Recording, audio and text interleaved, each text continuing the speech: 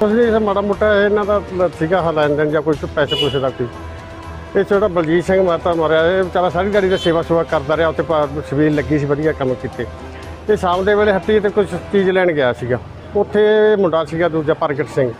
ਇਹਨਾਂ ਨੇ ਇੱਕ ਦੂਜੇ ਤੋਂ ਪੁੱਛਿਆ ਵੀ ਲੈਣ ਦੇਣ ਦਾ ਮਤਲਬ ਕਿ ਸਾਡਾ ਦਿਓ ਕੋਈ ਲੈਣਾ ਦੇਣਾ ਕੰਮ। ਉਹ ਉਸ ਹਿਸਾਬ ਨਾਲ ਇਹਨਾਂ ਦਾ ਮੁੰਡੇ ਕਾਇਆ ਸੁਣੀ ਹੋਗੀ ਇਹਦੇ ਕੋਲੇ ਪ੍ਰਗਟ ਸਿੰਘ ਕੋਲੇ ਕੋਈ ਚੀਜ਼ ਸੀ ਜ਼ਰੀਲੀ। ਪਹਿਲਾਂ ਤਾਂ ਵਕਤ ਤਾਂ ਵੱਖੀ 'ਚ ਮਾਰੀ, ਇੱਕ ਇੱਥੇ ਗਲ 'ਚ ਮਾਰ ਕੇ ਤੇ ਇਹਨੂੰ ਦੂਜਾ ਆਪਣਾ ਮੌਤ ਦੇ ਘਰ ਤਾਰਤਾ।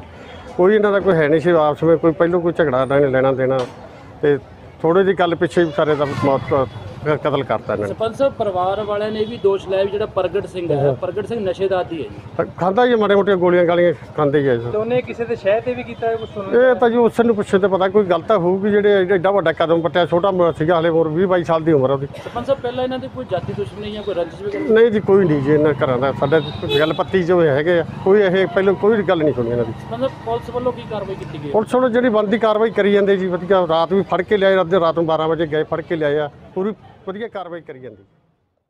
ਇਹ ਜਿਹੜਾ ਮ੍ਰਿਤਕ ਬਲਜੀਤ ਸਿੰਘ ਹੈ, ਇਹਦਾ ਦੋਸਤ ਸੀਗਾ ਪ੍ਰਗਟ ਸਿੰਘ। ਇਹਨਾਂ ਦੋਨਾਂ ਦੀ ਆਪਸ ਵਿੱਚ ਯਾਰੀ ਦੋਸਤੀ ਸੀਗੀ। ਤੇ ਕਾਫੀ ਟਾਈਮ ਤੋਂ ਇਹਨਾਂ ਇੱਕ ਦੂਜੇ ਨਾਲ ਪਿਆਰ ਸੀ ਇਹਨਾਂ ਦਾ ਇੱਕ ਦੂਜੇ ਨਾਲ ਦੇਣ ਲੈਣ 5-700 ਰੁਪਏ ਦਾ ਇੱਕ ਦੂਜੇ ਨਾਲ ਚੱਲਦਾ ਰਹਿੰਦਾ ਸੀਗਾ। ਤੇ ਇਹਨਾਂ ਦਾ ਕੋਈ ਆਪਸ ਵਿੱਚ ਦੇਣ ਲੈਣ ਪੈਸਿਆਂ ਤੋਂ ਕੋਈ ਦੇਣ ਲੈਣ ਤੋਂ ਜਿਹੜਾ ਇਹਨਾਂ ਦਾ ਝਗੜਾ ਹੋਇਆ ਸੀਗਾ, ਉਹਦੇ ਕਰਕੇ ਜਿਹੜਾ ਇਹ ਕੱਲ ਸ਼ਾਮੀ ਕੋਈ 8 ਵਜੇ ਦਾ ਟਾਈਮ ਸੀਗਾ, ਉਹ ਇਹ ਬੈਠੇ ਉੱਥੇ ਦੋਵੇਂ ਆਪਸ ਵਿੱਚ ਤੂੰ ਤੂੰ ਮੈਂ ਮੈਂ ਪੈਸਿਆਂ ਤੋਂ ਹੋ ਗਈ। ਤੇ ਜਿਹੜਾ ਪ੍ਰਗਟ ਸਿੰਘ ਹੈ ਇਹਦੇ ਕੋਲ ਕੋਈ ਤਿੱਖੀ ਚੀਜ਼ ਸੀਗੀ ਜਿਹੜੀ ਇਹਨੇ ਉਹਦੇ ਇੱਕ ਅੱਖੀ ਖੱਬੀ ਵੱਖੀ 'ਚ ਮਾਰੀ ਇੱਕ ਧੌਣ ਤੇ ਖੱਬੇ ਪਾਸੇ ਮਾਰੀ ਜਿਹੜੀ ਉਹ ਧੌਣ ਤੇ ਖੱਬੇ ਪਾਸੇ ਵੱਜੀ।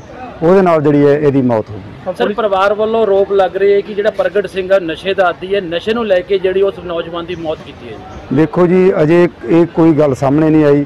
ਸਾਡੀ ਤਫਤੀਸ਼ ਚੱਲ ਰਹੀ ਹੈ ਜਿਹੜੇ ਸਾਡੇ ਐਸਐਚਓ ਸਾਹਿਬ ਜਿਹੜੀ ਇਹਦੀ ਤਫਤੀਸ਼ ਕਰ ਰਹੇ ਆ।